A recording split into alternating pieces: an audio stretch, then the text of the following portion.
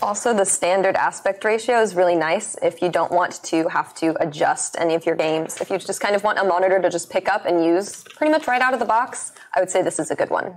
Right. You don't have to adjust your games too much. You were coming from a 16 by 9 monitor before you joined yes, us, I was. right? Uh-huh. So I had one similar to this, a little bit smaller though. Have you had to go through and kind of adjust some of your games now? I have. I have had to uh, change them a little bit, adjust the resolution on a lot of them because um, the one that you guys gave me is a bit of a higher resolution than um, Right. what I had.